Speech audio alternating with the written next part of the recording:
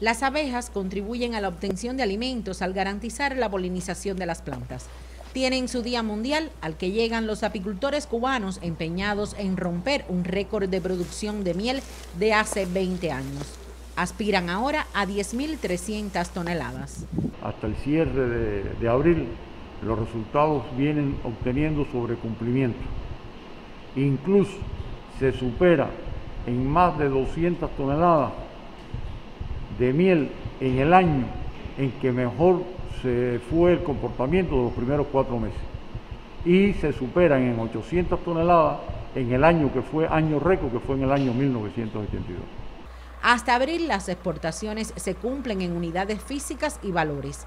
Decisivo el rol de esta planta en La Habana, única de su tipo en el país, que recibió por tercer año consecutivo la bandera de vanguardia nacional. Incluso tuvimos que adecuar varios turnos de trabajo en distintos horarios, incluso en horarios de la madrugada, dando cumplimiento a veces a la estrategia del gobierno para tratar de frenar la pandemia en, nuestro país. Apicultores aspiran a romper récord de producción de miel para consagrarse como uno de los principales rubros exportables de la agricultura. Manolo Rodríguez Salas y Liudmila Talancón, Sistema Informativo de la Televisión Cubana.